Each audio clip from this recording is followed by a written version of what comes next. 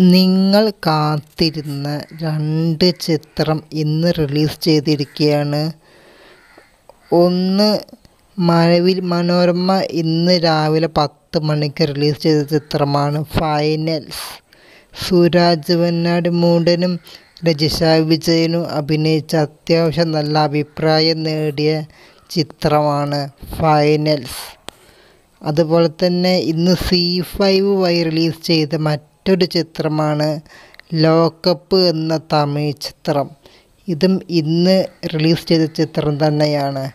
എല്ലാവരും രണ്ട് ഈ രണ്ട് സിനിമയും കാണാൻ ശ്രമിക്കുക.